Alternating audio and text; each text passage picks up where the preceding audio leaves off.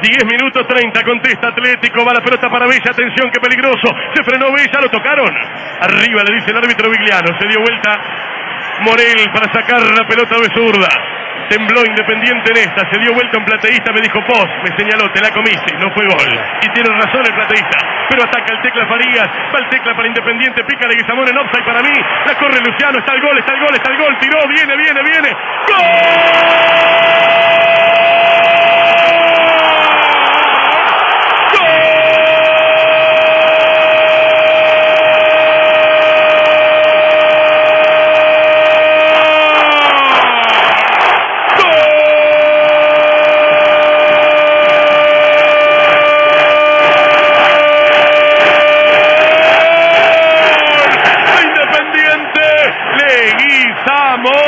Luciano Leguizamón lo encaró al arquero Sara, acabó por afuera, le pegó por arriba del arco, por arriba del cuerpo y por abajo del travesaño para gritar el primero. Para mí, para mí, para mí arrancó y Leguizamón.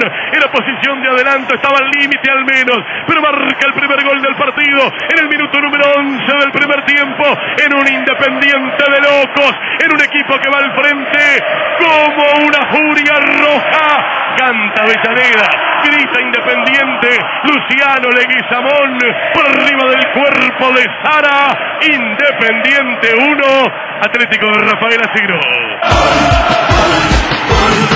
24 se van a cumplir, 24 casi en la parte final. Aquí saca la pelota Ferro, lo trabó con todo Batión, Batión de guapo para Farías, va para ganarlo. Farías coloca centro.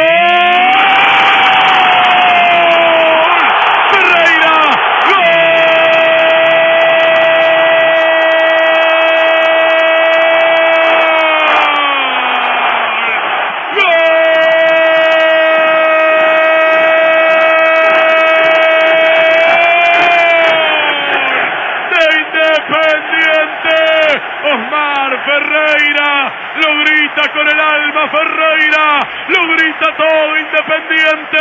Osmar Ferreira llegó debajo del arco, entró para tocar de zurda, emotivo festejo de Osmar Ferreira, lo grita con el corazón el Malevo, lo abraza todo Independiente, el Malevo se fue al ataque, el Malevo